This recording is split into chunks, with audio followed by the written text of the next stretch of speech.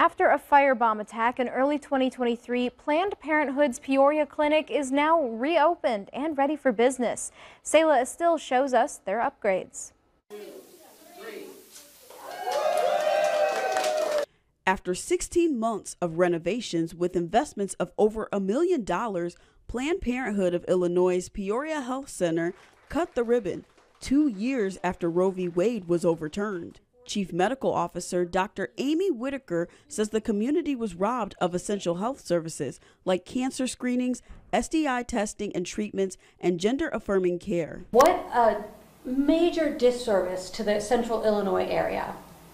Our staff too had to suffer longer commutes. They had to balance child care. Um, they had to forego extra personal and family time. The CEO, Jennifer Welch, says the facility has improved security with smaller windows and ballistic drywall and glass and offers expanded services.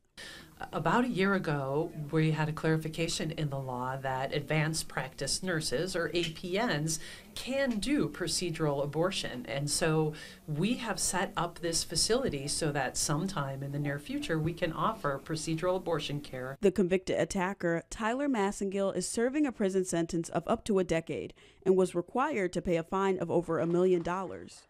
Welch adds that her group over the past two years is tracking a 47% increase in overall abortion care patients coming to Planned Parenthood facilities in Illinois.